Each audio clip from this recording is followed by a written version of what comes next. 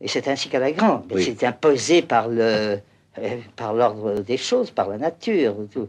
On est assailli par la, euh, la beauté et la magnificence euh, des spectacles que vous offre le globe. Tous ces, tous ces auvergnats, tous ces loups, tous ces épiciers en gros, ces mercières de rues pluvieuses, ces Israéliens qu'on pense et rit, ces volcans qui jaillissent, etc. Enfin, tout ça, tout ça vous attrape à la gorge. Et on est bien obligé d'en conclure qu'elle est grand.